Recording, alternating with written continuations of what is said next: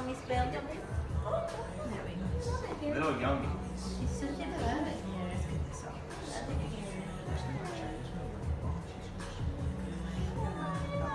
She's so cute. telling you, today has been the days of babies. I love it. She was being super fussy. How's um sleeping? Good. Except for this 5 to 7 p.m. That's,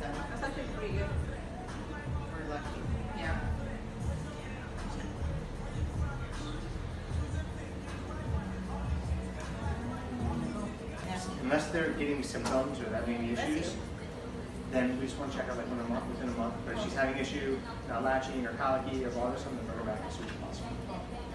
Let's go. Almost had a vaginal birth when she got reefer down. and they had to pull her off now. No, you were so close.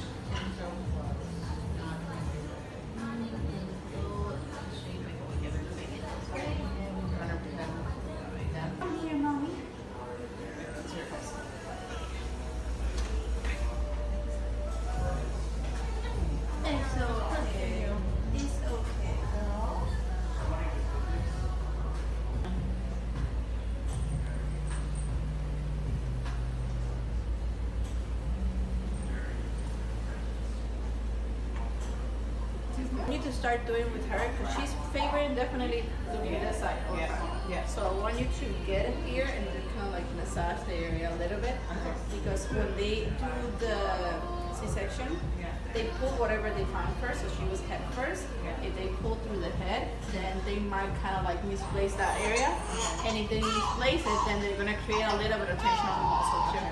So the more you massage the area, put her like facing up and like a really light oil, like coconut oil, and then just massage the area a little bit. And, On the back right. yeah, on the back, right. Especially right here. See what Yeah, I can see she is like laughing But she's good. She's actually good. For Venus C-section, she's good.